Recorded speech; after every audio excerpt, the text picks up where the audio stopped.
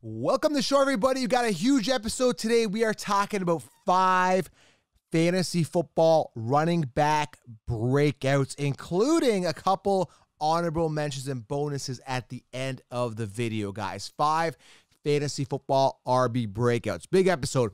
Before we get in this show, guys, I want you to take some action. Head on over to thefantasyfootballcounselor.com. It is officially draft season. Do not hesitate. Head on over to thefantasyfootballcounselor.com and get the 16 round draft solution right now. It's going to put you light years ahead of the competition optimal players to draft in each round, breakout sleepers, including full mock drafts done by me. It's like having me at the draft with you. I've also linked it below here on YouTube.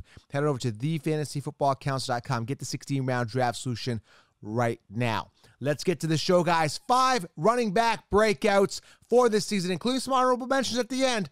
Stay tuned. Let's go.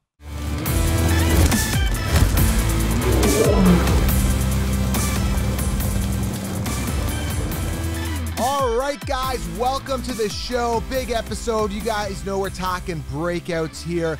And before we get into this, guys, head on over to manscaped.com.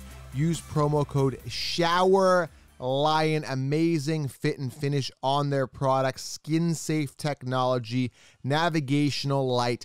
They've got ball wipes, they've got underwear, they've got the brand new Lawnmower 4.0.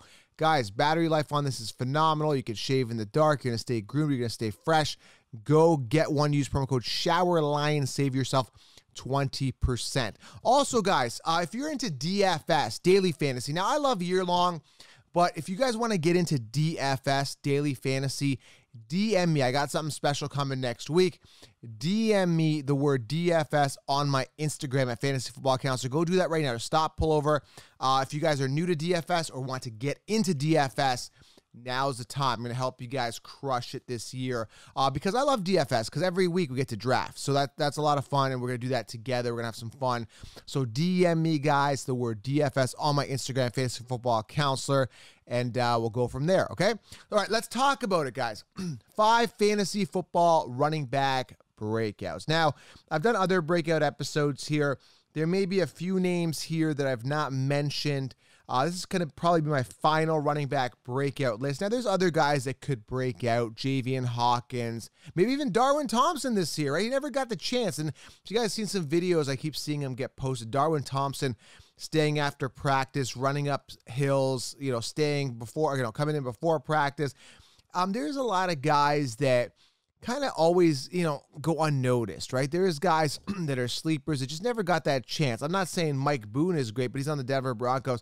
Mike Boone, when he played, he looked pretty good in those, you know, those flashes, but he never got the volume.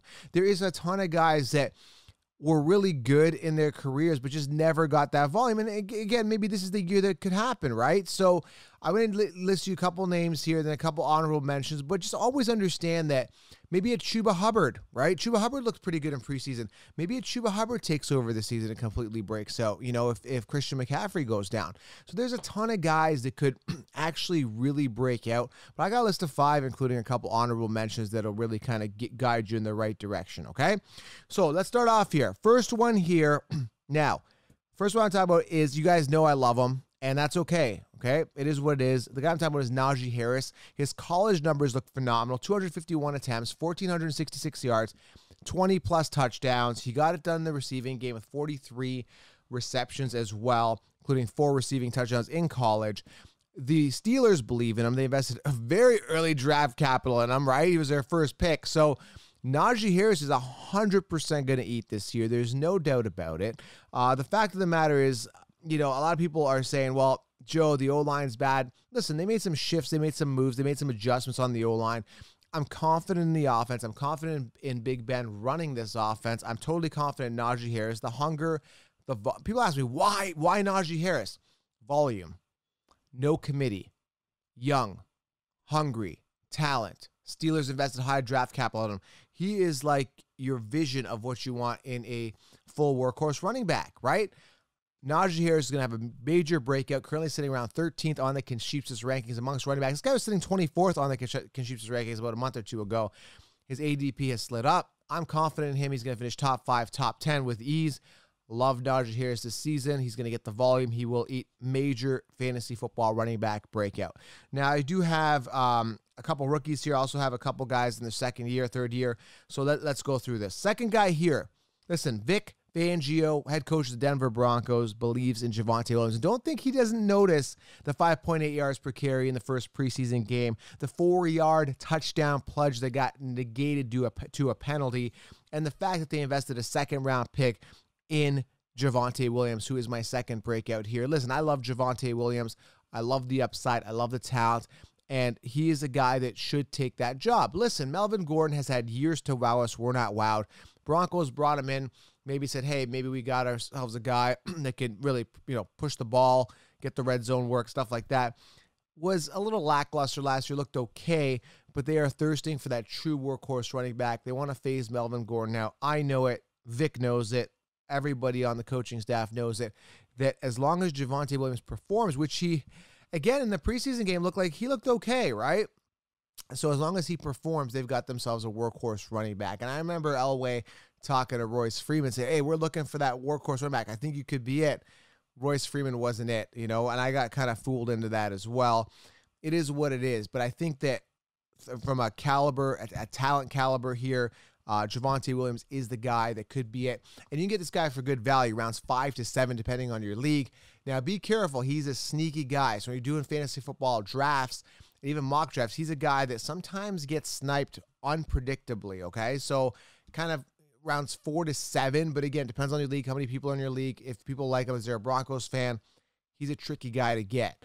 But as an RB3 on your team, I would definitely consider him. Okay. Next guy here is a tricky situation because I hate the Jets, but you know, talking to some Jets influencers that I know that follow the team, Michael Carter is a running back breakout potential. He has no competition there. He's got Coleman, Perine, Ty Johnson, a bunch of bums there that have had years to wow us. We're not wowed. Michael Carter was a fourth round pick. His college numbers looked okay 156 attempts for 1,245 yards, nine touchdowns out of North Carolina in his last season playing. For again, fourth round pick. So yeah, they invested in him, but not as high. But again, they needed a quarterback and stuff like that. So uh, also Elijah Moore, they needed a wide receiver as well. So Michael Carter, I mean, the talent is there, the opportunity is there. I still think they're going to run a bit of a committee if he really shines. There's an opportunity here for Michael Carter to be a major breakout. Will the volume be there? Probably not initially, but again, if he starts running with it, capitalizing on the opportunity. And, you know, again, there's no competition there that could start over him. Unless he really sucks, I don't see any reason why Michael Carter is not the starter and the full flow guy there. Okay. So, going to be interesting. A young team with Zach Wilson, you know, Corey Davis. Apparently, Zach likes Davis, Elijah Moore, uh, some talent there. So, these guys could be hate to say it, but could have some exciting moments, okay? Michael Carter as a breakout, okay? Fourth one here. Now you can say, well, Joey already kind of broke out, finished 13th last year amongst running backs.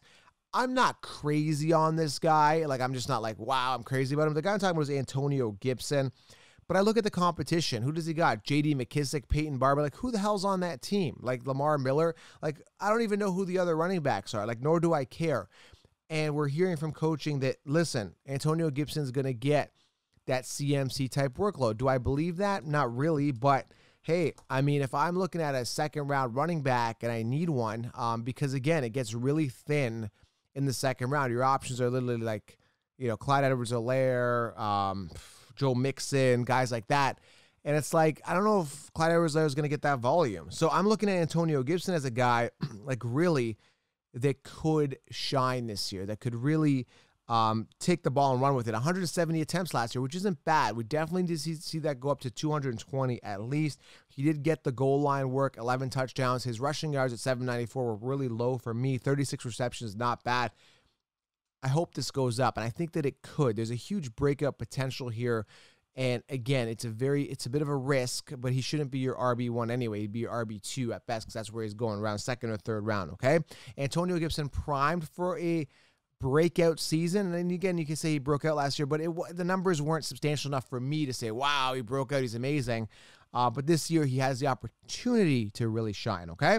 So I've got uh, two more. I got one more guy, and I got a couple honorable mentions here. Uh, make sure you guys do leave a thumbs up. It really helps the channel and get that 16 round draft solution. Don't hesitate, guys. Get it. I've linked it here below. And if you want um, advice year round, I've actually introduced a Fantasy 365 course where I'm going to offer my optimal DFS plays, waiver wires, and some start and sit advice and answer a few questions for you guys there in the Fantasy 365 course. It's super affordable. Uh, go to my website under programs at thefantasyfootballcounselor.com under programs, and you're able to see it.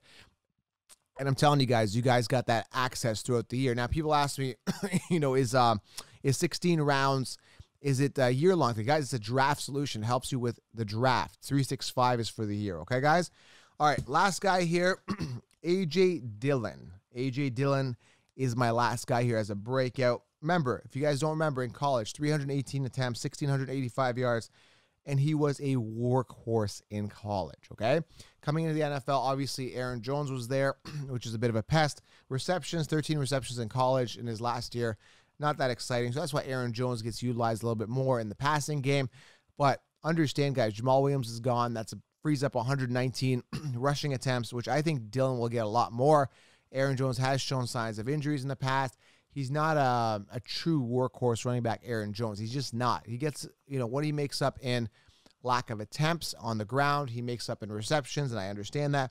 I think Dillon gets really integrated more this year, and it's going to be kind of like a Nick Chubb slash Kareem Hunt type of situation where literally AJ Dillon could be that Nick Chubb. That's an interesting take, isn't it? So AJ Dillon, I think, could get a lot more work this year. Look for a big breakout year out of Mr. Quads, AJ Dillon, and great value in drafts. Okay. Two honorable mentions, guys. Very easy here for me.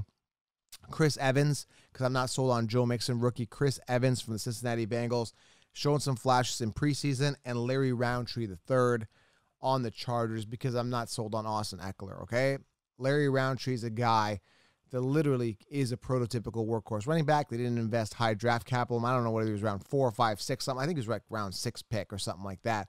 They got him for value, but sometimes these guys, they can surprise you if they get the volume. Again, we were talking about this. Some people are really good, they just never got the volume. And I think based on the situation, Ekeler's just not a workhorse running back. So there's an opportunity there for Larry Rountree to really shine. Again, Chris Evans from the Bengals because I'm not sold on Joe Mixon. Okay. So there's seven breakouts for you guys. And a lot of these guys are really good value. You're Michael Carter, you're getting the sixth, seventh round, maybe. Antonio Gibson, a little more expensive. Najee, first, second round, a little more expensive. But you're doing Dillon Carter, Javonte Williams. Larry Rountree, and Chris Evans for immense value. And again, there's more guys. There's Javian Hawkins because I'm not really sold on Mike Davis.